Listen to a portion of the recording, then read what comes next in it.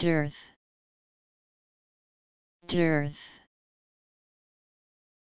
Scarcity which renders dear, want, lack, specifically, lack of food on account of failure of crops, famine.